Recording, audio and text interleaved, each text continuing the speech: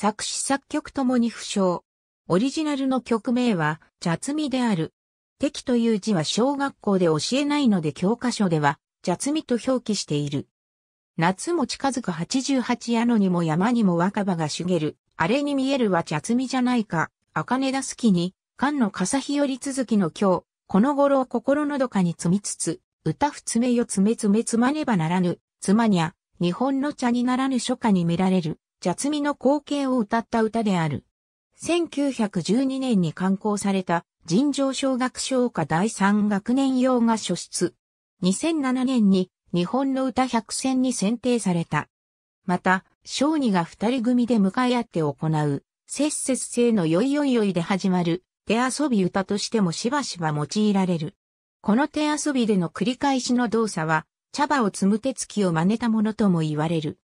グレッグ・アーウィンによる英訳詞、ピッキング・ティー・リーブスが存在し、アーウィン自身の歌唱により1997年4月21日発売のアルバム、ハッピー・チャイルド。英語で歌おう子供の歌みんなの歌。1999年発売のアルバム、英語で歌う日本の童謡にに収録された。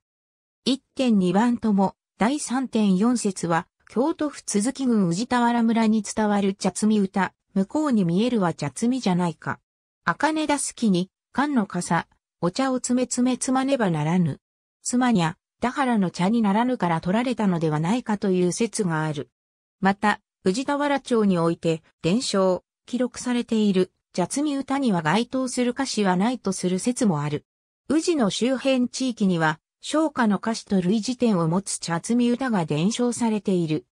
茶摘み五縁切って最後の一節にあるように、茶を摘む際には、茜のたすきをかけて行われる。茜は止血剤として知られている。すでの作業ゆえ、指先に怪我をしやすい茶摘みという作業に際して、たすきの茜成分をすり込みながら、作業を継続するという先人の知恵がこの装束にあると、大津市無形文化財である、草木染名人の三代目、大田藤三郎は分析している。1976年4月にスタートしたヒット76-79では、茶摘みの替え歌がテーマソングとして使われた。2002年に発売されたシングル、お茶犬の歌のカップリングに、茶摘みの替え歌、お茶っちゃお茶犬が収録。2003年にアニメ、お茶犬、エンディングテーマとして起用された。日本の商家明治編宇治田原町教育委員会、編纂、宇治田原町市第一巻、宇治地方の民謡、京都府の民謡、牧野映像財布、大和の歌、湖南地方の民謡、老作家。ありがとうございます。